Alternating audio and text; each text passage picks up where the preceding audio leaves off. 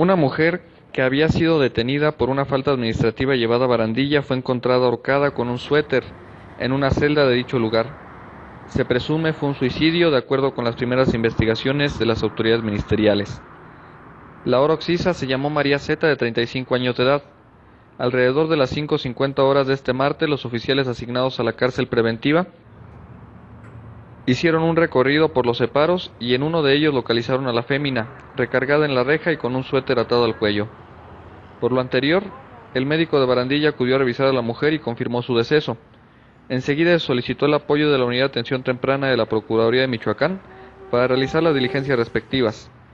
Trascendió en la labor reporteril que la difunta había sido detenida por alterar el orden público. Como primera línea de investigación se sigue la del suicidio, aunque la Fiscalía recalcó que no se descarta otra más.